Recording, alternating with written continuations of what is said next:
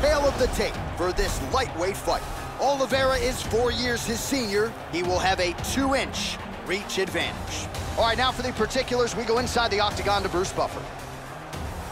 Ladies and gentlemen, this is the main event of the evening. And when the action begins, our referee in charge, Herb Dean. And now, this is the moment UFC fans around the world have been waiting for. Live from the T-Mobile Arena in Las Vegas. It's time!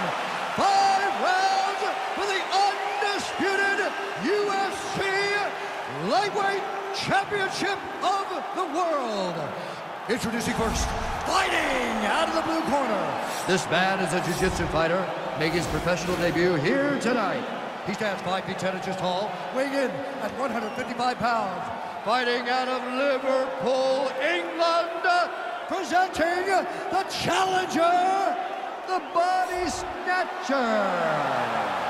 And now introducing the champion, fighting out of the red corner. This man is a jiu-jitsu fighter, holding a professional record of 31 wins, 8 losses, and 1 no contest. He stands 5 feet 10 inches tall, weighing in at 155 pounds. Fighting out of Sao Paulo, Brazil, ladies and gentlemen, presenting the reigning, defending UFC lightweight champion of the world, Charles do Bronx Oliveira.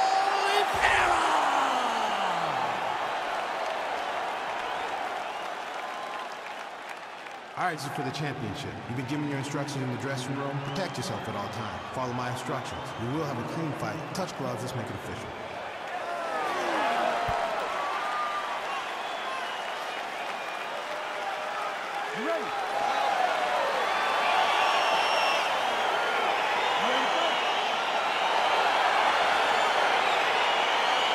So here we are in Las Vegas, Nevada, inside the T-Mobile Arena. This has really become the UFC's home base here in Vegas since 2016, and you competed on that inaugural night. UFC 200 was a big one. I got to stand across the octagon with one of the greatest fighters of all time, Anderson Silva.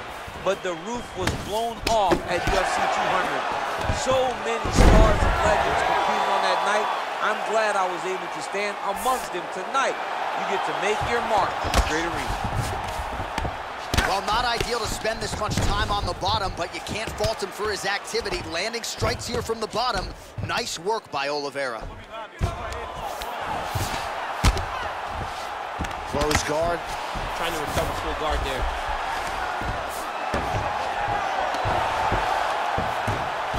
All right, he's sort of hanging out here unguarded, DC. Not sure if he's trying to bait him in or what, but not great body language here. Right, so he postures up here and now figures to rain down some ground strikes. Yeah, the ground and pound will be a plenty from this position.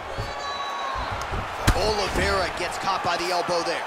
Well, we'll see if he postures up and can get some of his ground strikes going here. Well, anytime you are in a ground fighting situation with this fighter, you're potentially playing with fire. Strong bottom work here, staying busy. Continues to manhandle him here on the ground.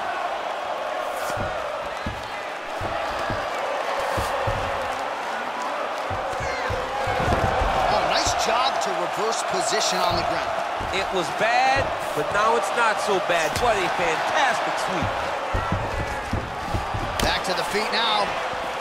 So just over 20 total strikes have already landed for Charles Oliveira. He's throwing every part of himself into these big leg kick. Shows him the left and then follows it up with a right. Nice one-two punch there by Oliveira. Fantastic takedown land.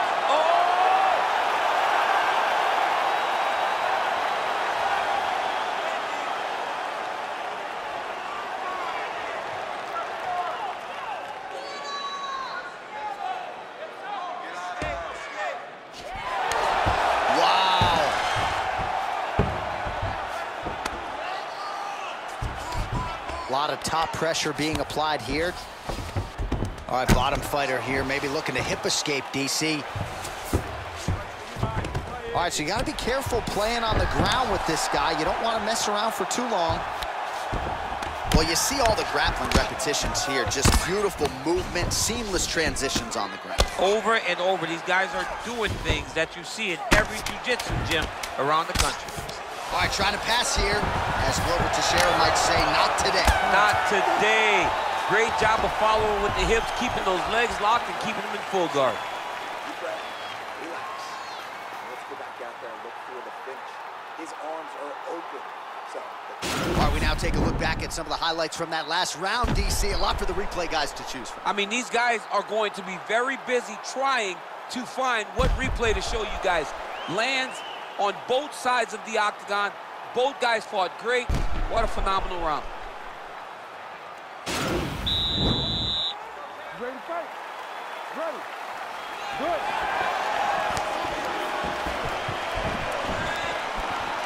Hook to the body here, but strong defense to block the shot by Oliveira. Straight right hand now just misses. Nice punch lands. Stuffs the takedown there. How good is his takedown defense? And both guys really throwing with authority.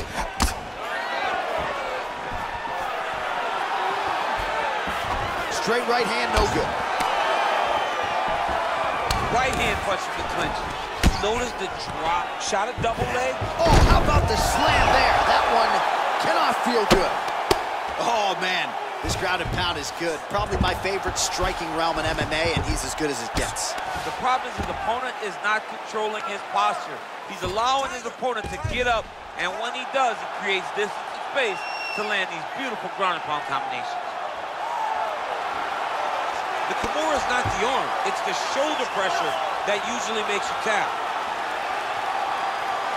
But now DC trying to isolate an arm. Yep, he's using the Kimura.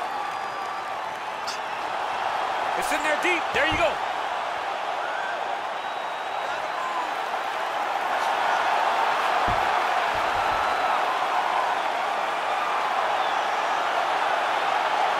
Oh, and there's the tap. He got the finish. What a beautiful Kimura finish by this great fighter. And I don't care how high your threshold is for pain. When you're in that compromised state, better to tap and fight another day. It's so crazy because people think the pressure's on your arm. It's all your shoulder. When somebody has a really good Kimura, it feels like they're going to break your shoulder. That's why you have to tap. All right, let's take a look back at the replay as he gets it done by submission tonight, champ. He does a great job of staying patient. He doesn't rush or panic. You are never safe when you're fighting this guy. You're in a lot of trouble. You're in a lot of trouble the entire time when you're this good in the submissions.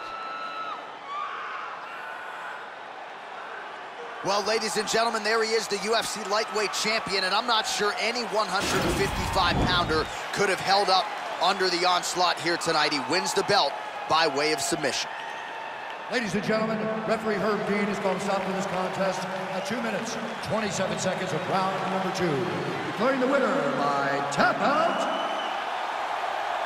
And still the undisputed UFC lightweight champion of the world, Carlos the Bronx Oliveira.